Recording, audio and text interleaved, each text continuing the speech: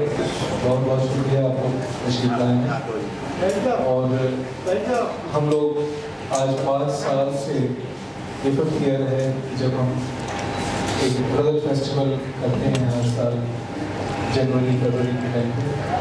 और इसका नाम है गज़ल बहार। और फिफ्थ ईयर होगा चार साल इससे पहले हम कर चुके हैं। और इसमें हर बहुत सारे गज़ल सिंगर ऑलरेडी गा चुके हैं और हमेशा इसमें उनका योगदान रहता है, सब आते हैं, समझते हैं।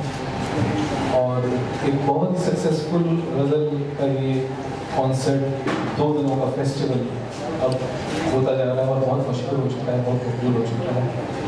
और ये सारा श्रेय जो है मेरे दोस्त जो सिंगर्स हैं मुख्तलिफ़ आर्टिस्ट जो हैं, इनकी हिम्मत अफजाई जो है, उनकी जो हौसला अफजाई जो उन्होंने मेरे मुझे हमेशा दी है। उसकी वजह से ये हो रहा है, क्योंकि अगर उनका साथ ना हो तो ये बड़ा ही मुश्किल काम है कि वो इतने बड़े अच्छे अच्छे अपनी जगह पर फनकार हैं कि उनके आने से गज़ल बहार गज़ल बहार हो गई है। तो इसमें हमारा, हमेशा ये कोशिश रही है कि गज़ल का रिवाइवल हो गज़ल जो थोड़ी सी बीच में कमज़ोर हुई है तो उसको हम फिर से रिवाइव करें और पाँच साल से हम ये लगातार मुसलसल हमारी ये कोशिश है कि हम इसको और लोगों की यंगस्टर्स में भी इसको लेके आए। तो इस बार हम ख़ास तौर पर रोमांटिक गज़लें बहुत गाने वाले हैं ताकि जो हमारे नए सुनने वाले आएँगे तो उनको इंटरेस्ट बहुत बना रहेगा और अगले साल भी इंटरेस्ट बना। इस गज़ल बहार जो कॉन्सेप्ट का जो शुरुआत हुई थी, वो बेसिक आइडिया ये था कि मैं एक ओल्ड एज होम रन करता हूँ पूना में, अकुर्डी पूना से पहले एक सबब है, वहाँ पर अबाउट सौ लोग रहते हैं बुज़ुर्ग, और उनकी देख रेख आज से मैंने तेरह साल पहले शुरू की थी। और वो बहुत अच्छे से चल रहा है, लेकिन कई बार फंड्स की ज़रूरत होती है। कभी जो मेडिकल एड बार कम होती है मेडिकल फंड्स कमी होती है तो उसकी ज़रूरत पड़ती है। इसीलिए हमने इस सब, मैंने सब कलाकारों से डिस्कस किया कि आप मेरे साथ आइए, जुड़िए और हम फंड्स इकट्ठा करेंगे ताकि ये आश्रम में जो बुज़ुर्ग हैं उनके काम आ सके, ये फंड्स जब भी बीमार हों, क्योंकि ये आश्रम जो है गरीबों का आश्रम, ये बहुत अमीर लोग तो अफोर्ड कर सकते हैं। बहुत सारे अमीरों के आश्रम हैं, इस तरह से ओल्ड एज होम्स हैं।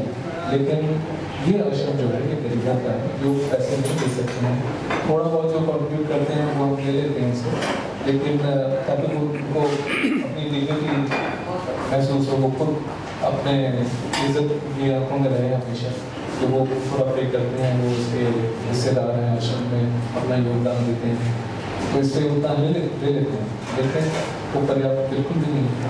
तो इसीलिए हमने ये सोचा कि हम सब पहले एक तो गज़ल का रिवाइवल होगा गज़ल, हम सिंगर्स हैं, हम सब लोग एक साथ आएँगे, जुड़ेंगे, एक अच्छा फेस्टिवल का माहौल बनेगा। और दूसरा, एक बहुत ही अच्छा कॉज जो है, उसके साथ ये ये फंड्स की जो ज़रूरत है, वो ज़रूरत पूरी हो तो ये बेसिक कारण था। जिसकी वजह से हम सारे इकट्ठा हुए, पंकज जी भी आए थे पहले साल, वो हमारे साथ थे और बहुत सारे अनु जी तो पहले साल से हमारे साथ हैं। और इस साल बहुत से आर्टिस्ट फिर हम साथ में हैं और ख़ास तौर पर आज पहली बार तलत अज़ीज़ साहब भी वो हमारे इस प्रोग्राम में शामिल हुए हैं। और जसविंदर जी, वो इतनी बड़ी बनकारा हैं वो भी हमारे साथ जुड़ी हैं लास्ट ईयर से। तो मैं उनका तहे दिल से हमेशा शुक्रगुजार रहूँगा हम लंदन भी प्रोग्राम करके आए और वहाँ पर भी जसविंदर जी जैज ये मोहन हाल बड़े, बहुत ही बाकमाल सिंगर हैं। आगे बढ़ते हुए गज़ल के चाँद सितारे बनेंगे।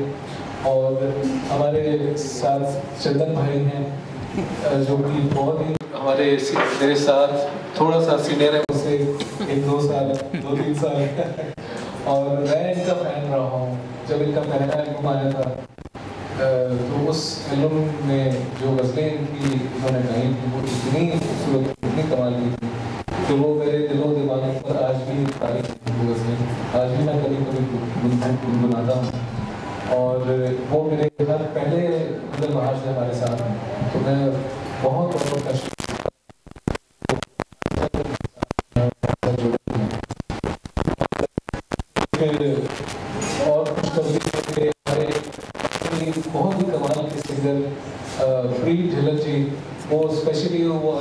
अमेरिका से सियाटल में रहते हैं वो।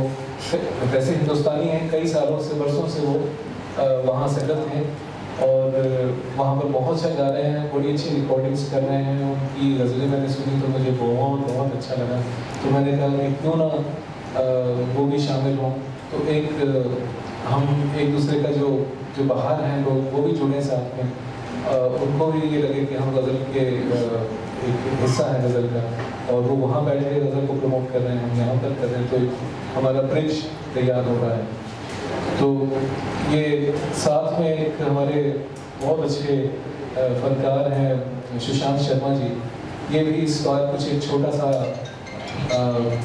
आइटम करने जा रहे हैं जो बहुत ही बाकमाल इन्होंने कुछ रिकॉर्डिंग की है। आ, और वो रिकॉर्डिंग है जगजीत सिंह जी की याद में। अच्छा। इन्होंने ओरिजिनल अपनी एक कंपोजिशन रिकॉर्ड की है in honour of Jagjit Singh ji because ये जगजीत जी का जन्मदिन होगा एट्थ को।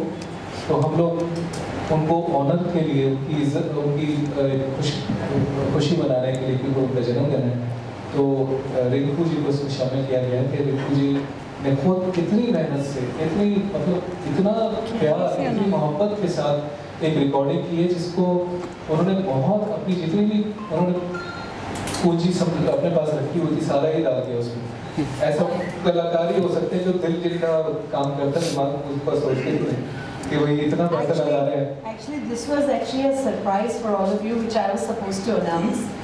कि रिंकू जो हमारे बीच में बैठे हैं सॉरी भाई जी I have to take over this because I was asked to uh, in a different way, but you opened the opened the surprise to everyone. Um, Rinku हमारे छोटे भाई जो uh, बहुत ही उमदा कलाकार हैं और uh, कहते हैं ना कि संगत का असर होता है। वो रंगत आती है आप पे।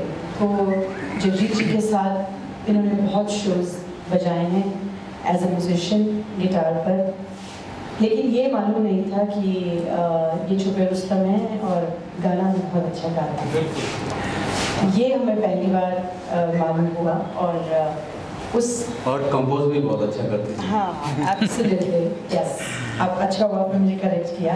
कंपोजर बहुत अच्छे हैं और मैं भी इनकी कंपोजिशन गा रही हूँ और आ, आ, आप सब हम लोगों से सबसे सुनेंगे इनकी कंपोजिशन हम लोग आएँगे इनके लिए। तो आज और जो गाने ये रशिया में जो इन्होंने गाना जो किया है रिकॉर्ड उसमें जो म्यूजिशियन थे सारे बिल्कुल फॉरनर थे सब वहाँ। एक से बढ़ के जी जी। जो मतलब लाजवाब ही मतलब म्यूजिशियन थे वहाँ।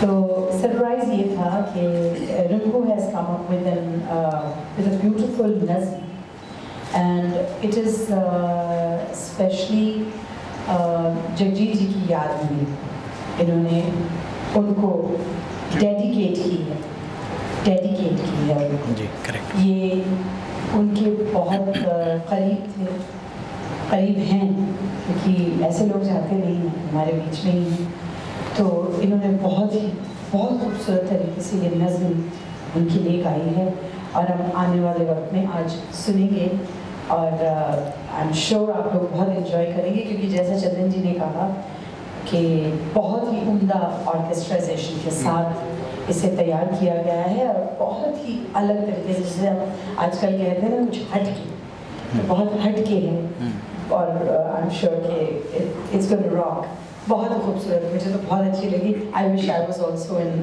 part of it definitely so coming back to Ghazal Bahar Ghazal Bahar I am really proud to be part of Ghazal Bahar thank you very much Ashok भैया कि आपने हम सबको याद किया। इनफैक्ट आपने अपने लिए नहीं ये हमारे लिए किया है जो किया है। हम आपके लिए कुछ नहीं कर रहे ये हम सब अपने लिए कर रहे हैं, क्योंकि गज़ल को प्रमोट करना बहुत ज़रूरी है। गज़ल गायकी एक ऐसी है जो लुप्त होती जा रही है, जो ख़त्म होती जा रही है।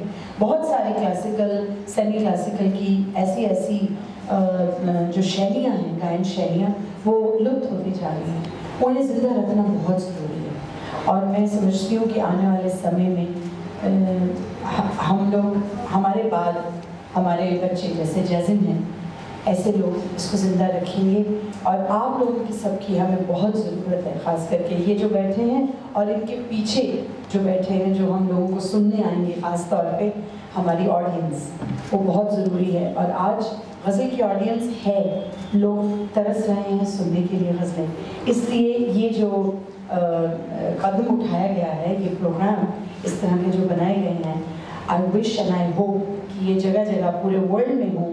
ताकि गज़ल गायकी जो है वो ख़त्म ना हो। और हमेशा ज़िंदा रहे। क्यों? लीजिए चंदन जी लीजिए थैंक यू सो मच मैं सिर्फ़ इतना बोलूँगा कि मैं इन सब में सबसे ज़्यादा फ़ायदे में हूँ क्योंकि छोटा हूँ। और ये सब लोग बहुत बड़े कलाकार हैं और मैं काफ़ी साल से इन सब के साथ बजाता आ रहा हूँ। So the best part is के ये करने से पहले मैंने अशोक जी से पूछा जैजिम भाई से पूछा कि मैं ऐसा करने जा रहा हूँ। तो जैजिम ने मुझे बोला कि यार ये बहुत बड़ा स्टेप है कैसे होगा? मैं कहा ये नहीं पता लेकिन हो जाएगा बिकॉज़ मैंने उनके साथ छः सात साल बजाया। इवन उनकी डेथ से पहले के शो में भी मैं उनके साथ में था। सो so, एक रिमेम्बरेंस है और एक इच्छा थी उनके लिए क्योंकि इतना करीब से सुना। फॉर्चुनेट इसलिए हूँ मैंने इन सबको बड़े करीब से सुना। तो अगर गाना गाना तो चलो बहुत बड़ी बात है अगर ये उसके अलावा भी क्या क्या करते हैं शायद मेरे को सबसे ज़्यादा पता होगा क्योंकि मैं इन सब के बड़ा है। मुझे ये मुझे ये अब पता लग गया है कि मेरे जाने के बाद भी डेडिकेशन होगी एक गाना मेरे लिए ज़रूर नहीं नहीं। नहीं नहीं ऐसा ऐसा भगवान नहीं कभी करे but I am so grateful और सबसे ज़्यादा थैंकफुल हूँ अशोक जी का बिकॉज़ ये रिकॉर्ड होने से पहले मैंने उनसे ये डिस्कस किया था और उन्होंने एक मिनट नहीं लगाया ये बोलते हुए। कि ये सबसे बड़ी ट्रिब्यूट होगी, सबसे बड़ा उनकी याद में अगर कुछ हो सकता है तो इसको